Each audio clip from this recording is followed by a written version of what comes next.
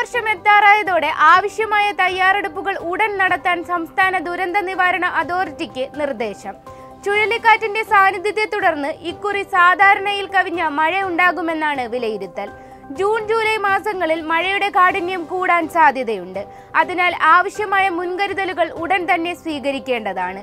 എല്ലാ തദ്ദേശ സ്ഥാപനങ്ങളിലും ഒരു കെട്ടിടം കണ്ടെത്തി ദുരന്ത നിവാരണത്തിന് വേണ്ടിവരുന്ന ഉപകരണങ്ങൾ ശേഖരിക്കാൻ നിർദ്ദേശം നൽകിയിട്ടുണ്ട്. ദുരിതാശ്വാസ ക്യാമ്പുകൾക്കായി തിരഞ്ഞെടുത്തിട്ടുള്ള കെട്ടിടങ്ങളെക്കുറിച്ചുള്ള വിവരങ്ങൾ എല്ലാ തദ്ദേശ സ്ഥാപനങ്ങളിലും പൊതുസ്ഥലങ്ങളിലും പരസ്യപ്പെടുത്തണം. ഈ കെട്ടിടങ്ങളിൽ വൈദ്യുതി ടോയ്ലറ്റ് തുടങ്ങിയ അടിസ്ഥാന സൗകര്യങ്ങൾ ഉണ്ടോ എന്ന് ഉറപ്പുവരുത്തേണ്ടതാണ്.